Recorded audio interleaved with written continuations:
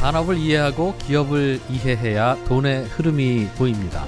리서치 명가 메리츠증권과 3프로TV가 함께 야심차게 준비한 3프로TV 주식대학 겨울학기 실전 투자 특강. 남보다 한 발 앞서서 유망한 산업을 판단하고 1등 종목을 선정하는 투자의 기본기를 다지는 시간이 될 겁니다.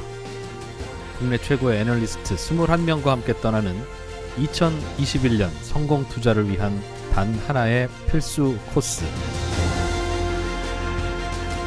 지금 바로 신청하세요. 자세한 사항은 페이지 2 공지사항을 확인하세요.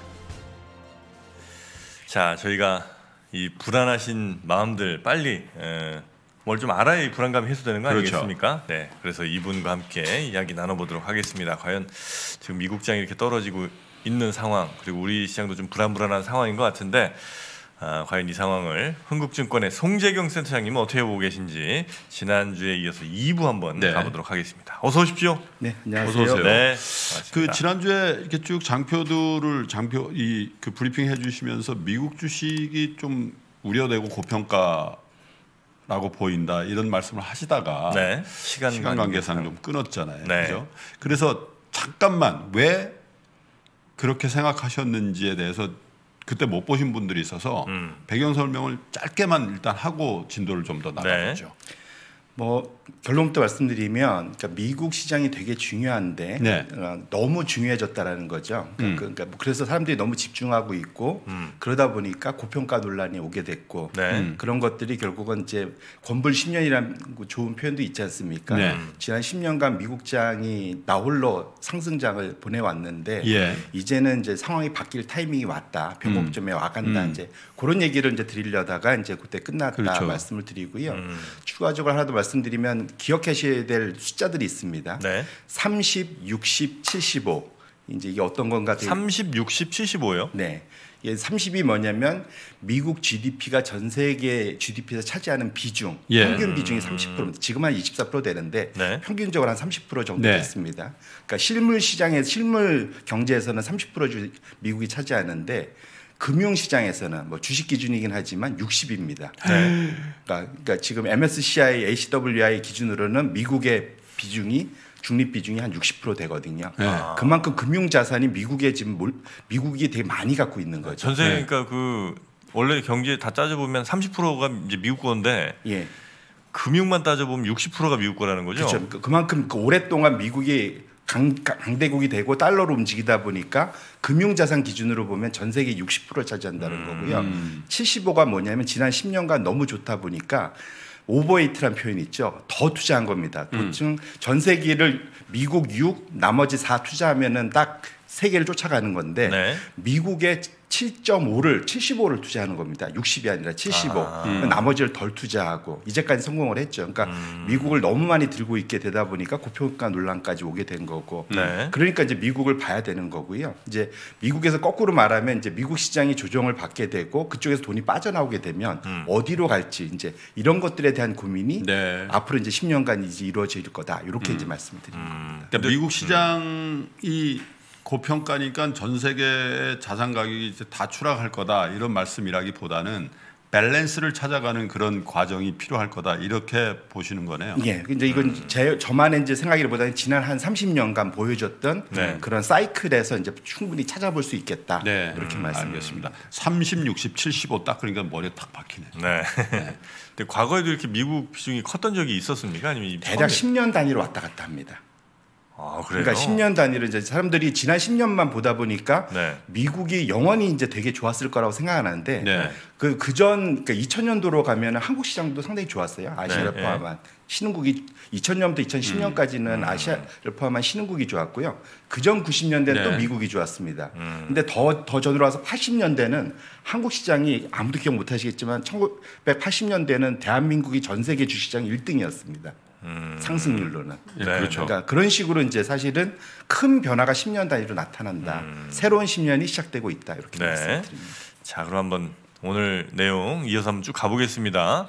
아, 어떤 요인들부터 좀 살펴보면 좋을까요? 일단은 전 세계 모든 웬만한 자산은 달러로 표시되고 달러로 움직입니다. 네. 그렇기 때문에 달러의 방향성이 되게 중요한데요. 저의 이제 아이디어는 자- 작년 한 여름부터 계속 지금 줄기차게 외쳤던 게 달러는 약세 국면으로 가는데 음. 일시적인 게 아니라 장기적으로 갈 거다라는 말씀을 드리고 있는 거고요. 16번 장표를 좀 열어봐 주시면 네. 그 보시면 이제 아시아 통화 지수하고 달러 지수의 방향성인데요. 정확히 네. 이제 반대로 가는 걸 확인하실 수 있어요. 이 아시아 통화에는 이제 위안화, 우리 한국 하- 원화, 음. 뭐 태국 바트화 뭐 이런 거 다 섞여 있는 겁니다. 그렇죠. 지금 보시면은 최근 자 작년부터는 여름 그러니까 3월 달 이후부터는 아시아 통화 강세로 가고 있고 네. 달러는 약세로 가고 있습니다. 일단 그게 이제 서로 맞잡고 있다는 걸 확인하실 수가 있고요. 그러니까 네. 지금 달러 약세에서 달러가 약세되는데 다른 데들이 나빠지느냐 그런 건 아니고 오히려 이제 나머지 나라는 좀 좋아지고 있고 특히 아시아가 좋다 말씀을 드리고 있고 음. 앞서 그래서 이제 수출이나 이런 거와 관련돼서 펀더멘털이 좁기 때문에 그렇다 이제 말씀을 드린 거고요. 네. 어, 그다음에 이제 두 번째로는 이제 달러의 하락 전망들이 글로벌 IB들로부터 다 나오고 있다라는 거죠. 음. 저기에 장표 17번에 있는 건데 지금 보시면은 그 레벨의 차이는 있지만 다 많이 다 달러는 빠질 거다라고 보고 있는 거죠. 그래서 음. 골드만삭스는 한 마이너스 6%, ING는 마이너스 10%, 네. CT 같은 경우는 마이너스 20%. 그러니까 작년에 3월달 고점 대비 10% 빠진 상태에서 작년을 끝냈는데 네. 올해는 여기서 최대 마이너스 20%더 빠질 수도 있겠다. 네. 그러면은 그냥 달러 표시 자산을 그냥 가만히 듣기, 들고만 있기만 해도 음. 외국인들 입장에서는 그러니까 미국 외부에 있는 투자자들 입장에서는 그냥 손실을 보는 겁니다. 음. 그러니까 결국은 달러로 표시된 자산들에 대한 생각들이 좀 많이 좀 바뀔 필요가 있겠다. 네. 이런 말씀을 드리는 거고요. 네. 그러면은 달러가 왜 빠져야 되느냐라는 음. 거에 대한 것들은 이제 두 가지 그러니까 기술적인 것도 있고 펀더멘탈한 요인도 있습니다. 기술적으로 보시면 장표 18번에 나타나는 건데 네. 보시면은 지금 달러가 대략 한 14년, 16년 주기로 업앤다운이 있다는 겁니다. 16년? 네. 네. 큰 그림으로 장기 사이클이 왜냐면 이제 뭐 브레튼 우즈와 되게 옛날 얘기부터 시작할 수 있겠지만 네. 대략 이제 전 세계적으로 변동 환율제라는 걸 도입하면서 음. 보통 웬만한 이제 다- 각 국가의 경제 상황을 달러 그러니까 환율로 보통 조절을 하거든요. 그렇죠. 환율 시장에 조절을 하는데 그 사이클이 대, 대략 16년 주기로 예. up and down이 나온다라는 거고요. 그러니까 미국과 미국 제외한 이제 세계를 볼 때 대략 사실은 이번 그 달러의 고점은 2016년도에 원래 찍었어야 됐는데 네. 잘 기억하실 때는 16년도에 미국에 큰 변화가 있었죠. 트럼프가 대통령이 된 겁니다. 음. 그래서 미중 무역 분쟁이 시작이 되면서 음. 사실은 달러에 대한 좀 과한 선호가 있었습니다. 안전자산. 음. 왜냐하면 그때 불안하니까. 네. 네. 그러면서 이제 달러가 좀 더 버텼는데 예. 결국은 이제 이게 작년 3월을 고점으로 지금 10% 이상 빠져 있는 상태고 이 방향은 향후 이제 4, 5년간 추가적으로 좀 더 내려가야 된다라고 보고 있는 거고요. 이런 것들이 아까 이제 글로벌 아이비들의 그런 달러 약세 전망하고 맞물린다면 방향성 자체는 일시적으로 끝나는 게 아니라 음. 네. 꽤 오랫동안 달러는 약세로 가겠구나라는 음. 거를 해석할 수가 있을 것 같습니다. 네.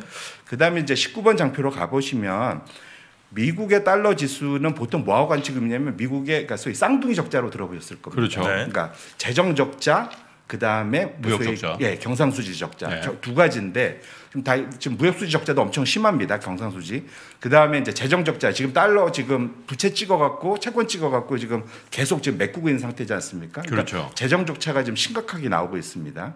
그리고 지금 1.9조 달러를 한 해 만에 또 얘기하고 있어요, 지금. 음. 그러니까 결국 이런 것들이 방향성을 보시면 미국의 재정 적자 방향성은 지금 아래로 완전히 꽂아 내려가고 있는데 네. 상대적으로 지금 거기에 따라서 달러 지수는 따라가는 속도가 좀 더딘 편이거든요. 예. 이 방향성은 재정 수 재정 적자는 방향이 잡혀 있기 때문에 결국 그 방향을 따라서 달러는 약세로 갈 수밖에 없겠다. 네. 이런 것들을 다 조합하면은 달러의 방향성 자체를 약세로 보는 것이 되게 현명한 판단이다 이렇게 말씀드립니다. 음, 그러면 사실은 그 반대쪽에 있는 자산이 오르지 달러로 표시되는 자산이 오르지 않을 것이다. 맞습니다. 미국 네. 주식보다는 다른 나라. 예, 예. 그러면 달러와 대척점에 있는 건 사실 신흥국이잖아요. 네. 네. 그런 쪽에 더 weight를 둬야 된다. 이런 말씀이시네요. 맞습니다. 음. 이제 큰 그림으로 보면 뭐 미국 반대편에는 이제 유로가 있을 거고요. 네. 아, 이제 이런 방향도 있고, 근데 유로가 지금 상황이 조금 약하니까 음. 그 외에 이제 새로운 지금 그, 그 그 통화들을 찾는데 아직은 기축 통화를 할 만한 것들은 딱히 없고 음. 신흥으로 이제 올라오는 게 위안화가 올라오고 있고 위안화하고 한국의 원화는 같이 correlation이 엄청 높습니다. 네. 똑같이 움직입니다. 그래서 결국 위안화 강세의 방향성이 지금 잡혀 있는 상태이기 때문에 원화 강세도 계속 같이 갈 거다 보실 수 그러니까 있습니다. 센터장님 생각은 달러 인덱스의 약세보다도 그 신흥국 통화의 신흥국 통화 대비한 달러의 약세가 더 심할 것이다 이렇게. 보시는 거예요. 예. 달러 인덱스는 유로라든지 파운드라든지 yen이라든지 스위스. 프랑인데 선진국 선진국.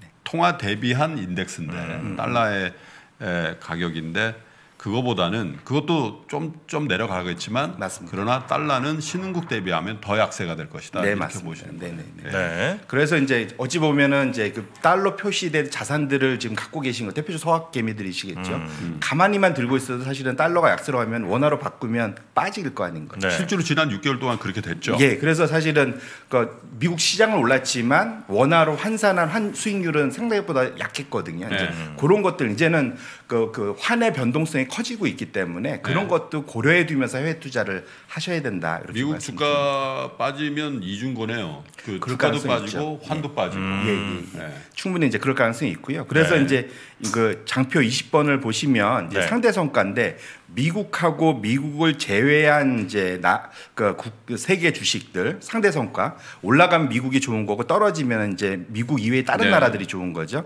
근데 거기에 이제 미국의 달러 지표하고 같이 보시면은 달러가 약세로 가면 달러가 강세로 가면 미국이 다른 나라보다 상대적으로 좋았고요. 그렇죠. 그러니까 달러가 약세로 가면 미국보다는 다른 나라들, 미국을 제한 나머지들이 좋았다는 게 지난 뭐 15년, 20년간 늘 이제 나타났던 트렌드입니다. 그래서 네. 달러의 방향성이 중요한 거는 미국 투자하실 때 특히 꼭 체크하셔야 될 거고 아까 누누이 말씀드린 달러의 약세 방향성은 미국에서 빠져나와서 다른 나라로 가셔야 되고 아시아 신흥국이다 이렇게 네. 말씀을 드립니다. 음. 주식 상대성과 뭐 달러 이야기까지 좀 들어봤고요. 음. 다음에 또 저희가 체크해야 될 게 뭐 있겠습니까? 그러니까 사실은 그래서 그러면 미국 시장에서 빠져나오면 뭐 어디로 가야 될 거냐에 네. 고민이 있는데 아시아가 항상 좋을 때는 제조업 신흥 가- 제조 수출 강국들인데 네. 네. 제조를 하려다 보면 당연히 원자재를 사야 되지 않겠습니까? 음. 그리고 이제 달러로 표시 다 거래가 되니까 이 원자재 시장 자체가 상당히 화랑을 할 수밖에 없다.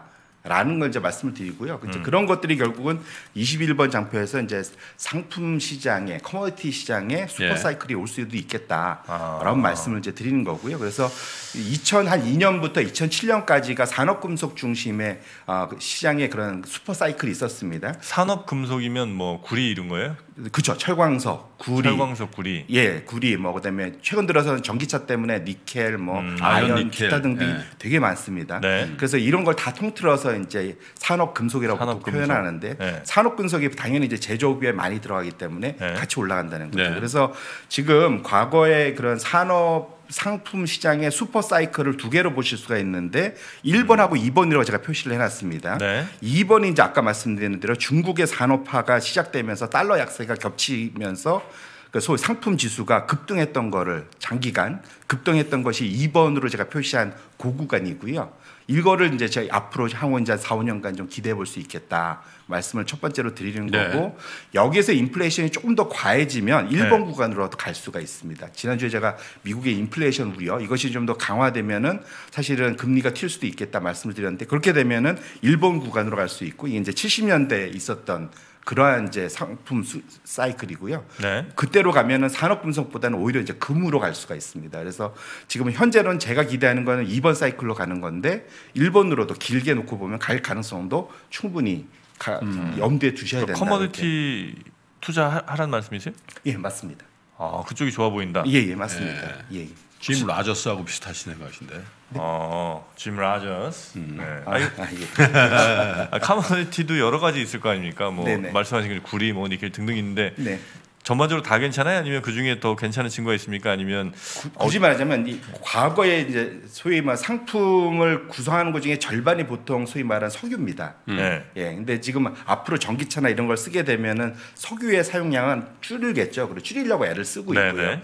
그래서 지금부터는 좀 상품을 구분하셔야 될게 네. 에너지 특히 거기 들어가 있는 석유, 석탄 같은 건좀 재배 배제하시고 아. 에너지 부분 쪽은 조금 일부 배제하시고 상품 금속, 산업 금속 쪽이나 곡물 쪽으로 가시는 게 맞겠다. 에너지는 요쪽이. 어쨌든 또 지금 바이든 정부라든지 이런 쪽에 또 기후에 관련된 뭐 신재생 에너지 뭐 이런 네네. 것들 예, 그러니까 방향성 자체는 지금 결국은 5일의 정점이 언제냐를 갖고 계속 논쟁을 하고 있는데 점점 가까워오고 있는 것만은 분명하거든요. 그래서 네. 그 방향으로 갈 수밖에 없고 그래서 22번 장표가 되게 중요한 장표인데 1970년대 이후에 장기 사이클에서 보면 S&P 500이랑 아까 봤던 상품 지수하고의 상대 성과입니다. 결국은 둘이 따로 논다는 거죠. 미국 주식이 올라갈 때는 상품이 좀 안 좋았고 미국이 주식이 빠질 때는 상품이 좋았다는 겁니다. 지금 네. 정확히 상품이 제일 바닥권에 최근에 조금 올라왔긴 했지만 네. 바닥권에 있기 때문에 아, 지금 가기 낮은 편이군요. 그렇죠. 상대적으로 지금 보시면 상품이 이제 그냥 느낌상으로 보시면 이제는 올라갈 타이밍이 와 있는 것 같지 않겠습니까? 그래서 어. 달러의 약세가 오고 이런 것들이 결국은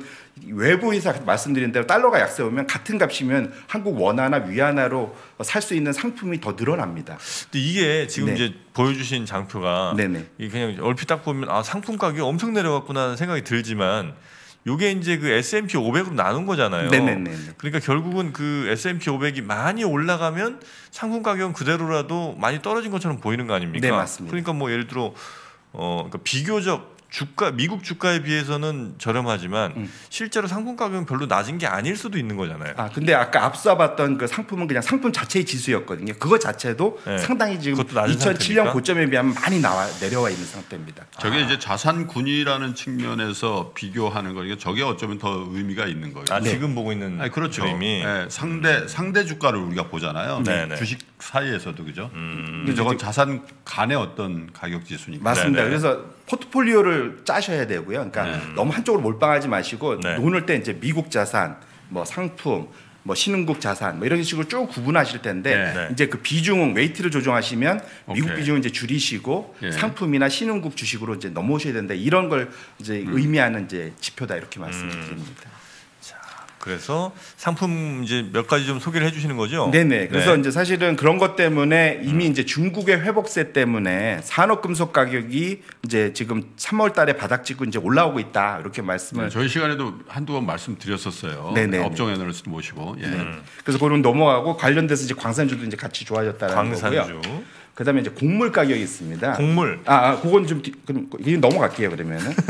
예, 그럼 산업금속은 많이 많이 들으셨다니까. 이 시국에 곡물 가격이 있는데 네. 사실은 지금 애그플레이션 얘기가 지금 다시 나오고 있습니다. 2000 지금 한 지난 한 6년도 이래 지금 곡물 가격이 제일 많이 올라 있고요. 네. 두 가지가 있는데 지금 작황이 안 좋습니다. 음. 라니냐 때문에 남미 쪽에 지금 가뭄이 심하거든요. 음. 네. 그 라니냐가 오면은 그쪽은 가뭄이고 지금 아시아 호주하고 이 동아시아 쪽은 지금 홍수가 납니다. 보통 네, 네. 그 라니냐의 결과고요. 그것 때문에 좋네요. 예, 예. 그래서 곡창, 곡창 시대에서의 작황이 안 좋아지기 때문에 곡물 가격이 올라가고 있고요. 음. 지금 상황이 코로나 때문에 더 심해졌습니다. 그래서 이런 것들이 지금 향후 방향성 자체가 네. 곡물 가격이 우상향할 거에 대해서는 이견이 없게 된 거고요. 어. 그래서 아까 말씀드린 산업금속이랑 곡물 두 개의 향후 방향성 상당은 상당히 좋다. 음. 이렇게 그 말씀드립니다. 이 그림 보면 6년 고점 돌파 중인데 앞으로도 더 많이 올라갈 가능성이 높다는 거죠? 예, 이거 좀 짧게 본 건데 어. 이게 이제 2007년 고점으로 보면 아직 절반밖에도 안 왔습니다. 네, 네, 네.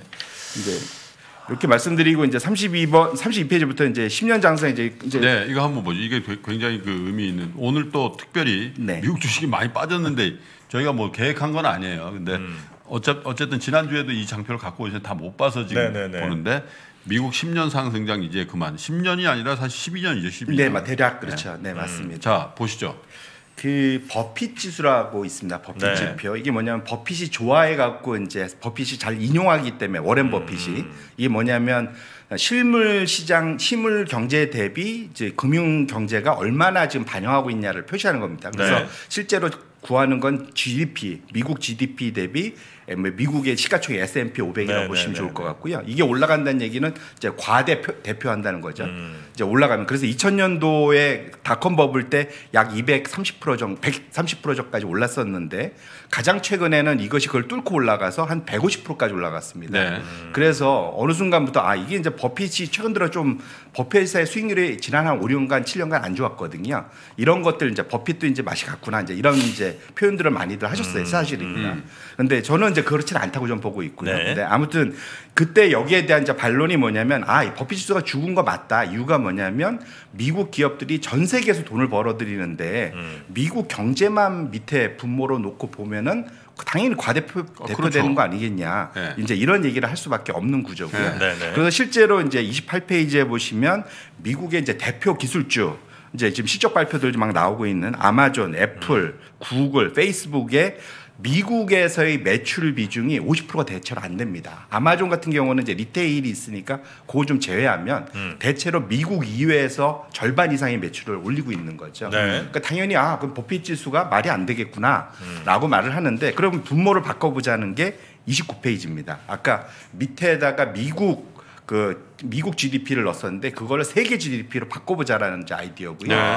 이제 그럼 두 개를 바꾸면 되겠죠. 그러면 전 세계에서 돈 버니까 그걸 제대로 평가하는지 한번 보자라는 것이 이제 3 저기 29표 29표 장표에 지금 보시면 아. 그 이제 밑에 나눈 건데 정확히 보시면 아주 흥미롭게 최근 최근이 2000년도에 닷컴 버블 수준만큼도 지금 올라와 있습니다. 정확히. 그러니까 밑에 분모를 더 늘려놔도 상당히 지금 과대평가를 아. 지금 하고 있는 상당히 지금 비싼 상태다. 네. 그러니까 이 아까가 이제 밑에를 낮추는 거 이거보다 훨씬 낮을 거다라고 기대를 했는데 네. 그게 아니라 밑에 세계 GDP를 갖다 놔 봐도 음. 미국은 상당히 높다. 지금 2000년도 수준까지 매우 높은 수준이다. 그러니까 그렇게 놓고 본다면 미국이 전 세계를 대표하는 나라긴 하지만 음. 그럼 미국 시장이 이 정도는 너무 과한 거 아니냐라는 얘기를 충분히 해볼 수 있겠다 이런 말씀입니다. 네.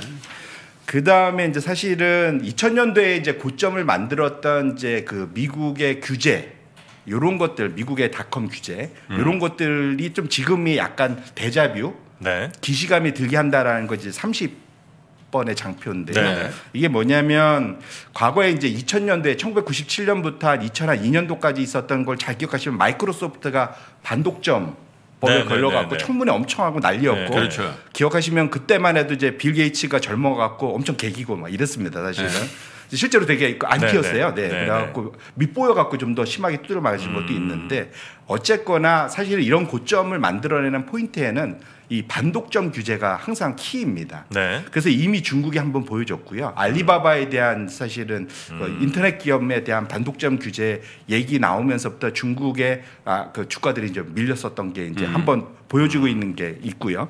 위에 보시면 지금 구글이 구글은 지금 미국 법무부의 제소를 당했고 음. 페이스북은 지금 미국 공정위의 제소를 당한 상태입니다. 네. 결국은 미국의 정치권이 미국의 지금 인터넷 플랫폼 기업들에 대한 견제에 들어가기 시작했다라고 볼 수 있고요.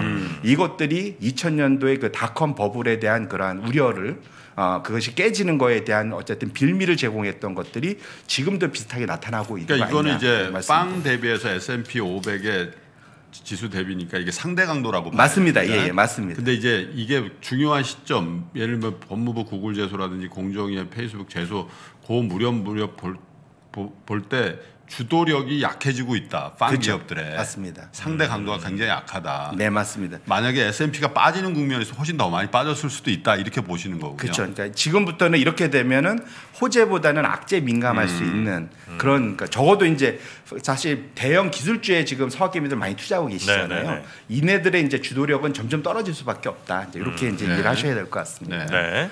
그래서 결국은 버블의 아이콘이라고 제가 이제 표시를 했는데 지금 사실은 이제 테슬라, 비트코인 지난주에 이제 얘기를 했는데 네. 에, 그 이제 그 저는 이제 요 두 개를 일종의 탄광의 카나리아라고 봅니다. 그래서 이게 일종의 먼저 척구병 같은 역할을 하는 네, 거죠. 광부들이 카나리아 갖고 들어가죠. 네. 갖고 옛날에 들어가면 기술이 없어서 네. 일산화탄소 맞으면 죽으니까 그러니까. 이제 카나리아가 데리고 들어가면 얘가 가만히 있다 먼저 죽는답니다. 네. 그래서 이제 옛날에는 그 1800년도에는 카나리아를 데리고 이제 들어와서 일했다고 워낙 그러더라고요. 민감하니까 네네네. 카나리아가. 그래서 저는 지금 테슬라나 비트코인이라 보고 있는데 이거보다는 최근에 게임스탑이나 이제 새로운 개들이 또 올라온 것 같습니다. 네. 그래서 아무튼간에 이제 그런 것들이 있는데 제가 말씀드리고 싶은 거예요. 테슬라는 참 좋은 회사입니다. 음. 그러니까 전기차 시대가 열리는 거를 대표하고 있고요. 근데 저는 과대표됐다 말씀을 드리고 싶은 건데 그것이 이제 31번 장표에 있습니다. 음. 네. 이게 뭐냐면 원래 자동차 업종이라는 거는 상당히 그 소위 그 성숙 산업입니다. 정체돼 있죠. 예, 정체돼 있어 갖고 사실은 그러니까 2019년 한 네. 2년 전에 이미 더 이상 곧, 그러니까 더 이상 매출이 증가하지 않는다라고 그랬어요. 음. 판매 대수가. 그런데 이제 갑자기 바뀌었다라고 지금 사실은 테슬라가 말하고 있는 거거든요. 음. 지금 장표를 보시면 지금 자동차 그 업종의 그러한 그 시가총액은 지금 네. 0.5에서 1조 달러 range 안에서 지난 10년간 꾸준히 안정적으로 움직였어요 음, 보시면은 그런데 여기에 테슬라를 포함해서 이제 같이 보면은 네. 어 2020년 이전까지는 똑같이 움직였었는데 20년에 갑자기 확 튀어버린 거죠. 음. 이게 누구 때문에 튀었냐? 다른 기업이 아니라 테슬라 혼자 때문에 이렇게까지 올라갔다는 거죠. 테슬라 포함이니까. 예, 테슬라 포함해. 그럼 역으로 말하면 자동차 산업이 갑자기 바뀐 거냐? 그건 음. 아닐 거지 않습니까?